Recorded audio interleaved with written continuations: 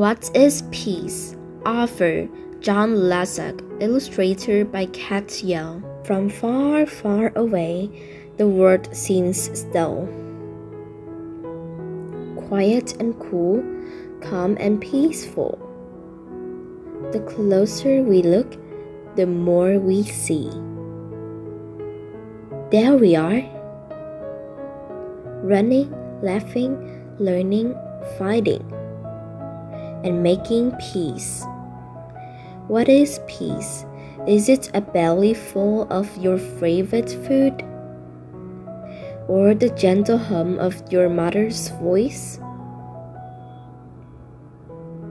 Maybe it's the warm weight of blankets pressing you into sleep. Or stories whispered way past bedtime?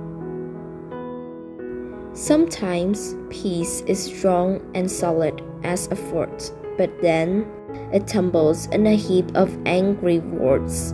Sometimes we grasp it so tight that snap.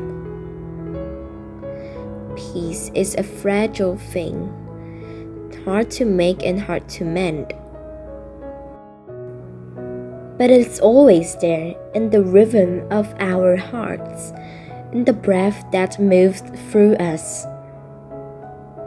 There it is. Can you feel it? Now, what will you do with it? Will you let it warm you like an ember? Will you sing it in the streets?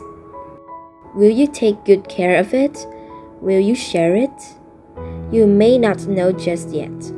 When you close your eyes, what do you see? Peace everywhere.